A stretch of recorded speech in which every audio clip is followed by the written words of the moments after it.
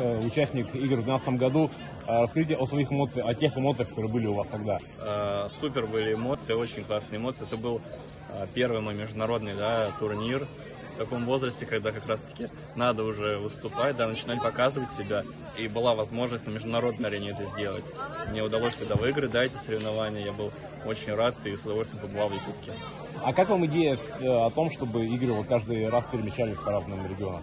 Э, Хорошая идея, да, главное, чтобы регионы могли, да, позволить себе это и хотели принимать старт такого уровня, все-таки это старт большого уровня, который уже сейчас седьмые игры, уже целые седьмые игры, то есть э, раз в четырехлетие, как у нас Олимпийские игры проходят. Будет очень хорошо, если э, разные регионы будут э, принимать эти соревнования. Вот после игр 2012 года вы с кем-то из ребят поддерживаете отношения? Да, некоторые до сих пор плавают, также со мной в команде российской уже, да. Э, С международными нет.